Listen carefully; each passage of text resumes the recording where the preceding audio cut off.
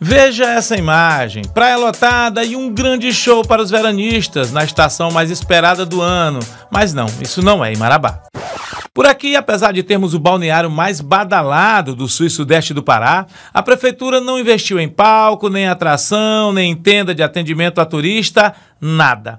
Nós entramos em contato por telefone com a Secretaria de Comunicação da Prefeitura, que confirmou que não haverá shows na praia. Isso revolta quem trabalha nesta época do ano e vê no turismo uma fonte de renda e também de melhorar a imagem da nossa cidade.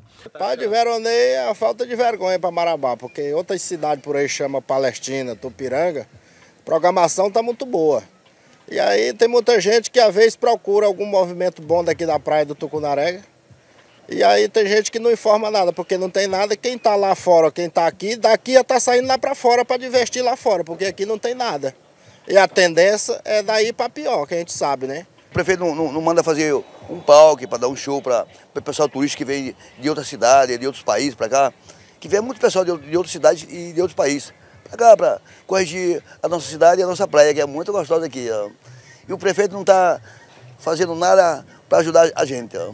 Pois é, enquanto cidades menores como São Geraldo do Araguaia, Conceição do Araguaia e Palestina do Pará têm atrações nos seus veraneios, aqui em Marabá, pelo menos a gente tem a Praia do Tucunaré, que atrai veranistas o tempo inteiro nesta época do ano. Mas se tivesse uma atraçãozinha turística, ah, seria bem melhor.